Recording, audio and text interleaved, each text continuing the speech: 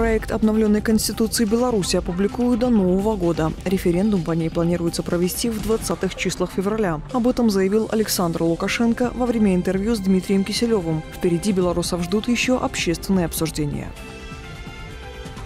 МЧС предупреждает об опасности из-за непогоды. Беларусь накрыл циклон. Возможно отключение электроэнергии в населенных пунктах, а также затруднение движения транспорта. Увеличивается вероятность ДТП, повреждения или обрушения конструкций, кровель зданий, падение деревьев и риск получения травм. Местами на участках дорог сохранится гололедица. Порывы ветра могут достигать 18 метров в секунду.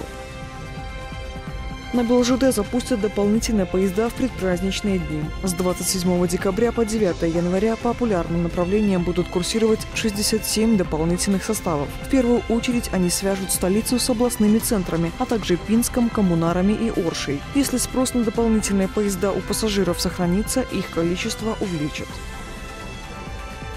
Нотариусы Беларуси 3 декабря будут консультировать бесплатно. В этом году республиканская благотворительная акция, приуроченная к празднованию Дня юриста, пройдет в онлайн-режиме. Участие в ней примут все нотариальные конторы и бюро страны.